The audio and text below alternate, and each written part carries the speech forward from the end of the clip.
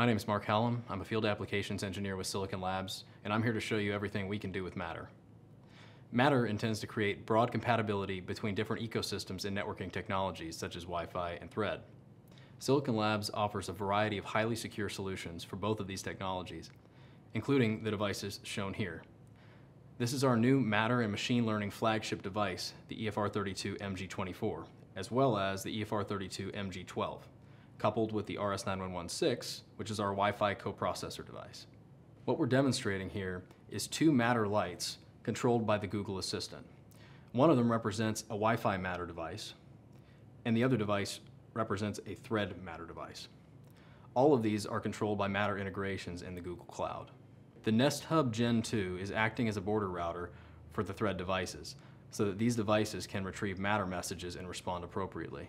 When I say, hey Google, turn all lights to maximum brightness, All right, setting two lights brightness to 100%. all of the lights will turn on, which is shown by the sprites changing on the LCDs and also these two LEDs being lit. And when I say, hey Google, turn all lights off, you'll see all the lights turn off. Okay, turning off two lights. We've also added switch support using multicast, which allows another device which is commissioned as a light switch to control the lights. So you can see as I press the button on the device, the lights will turn on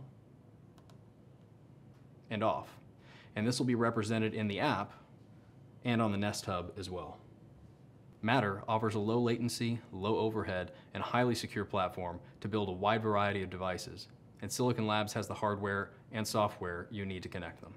Once I approve this device to join my Matter home by scanning the QR code, it'll begin the commissioning process, which includes exchanging the credentials necessary to join the Thread network and Matter fabric.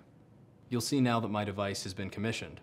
The LCD now shows the image of a light, and I have the option to set this device up in the Google Home app and add it to my home.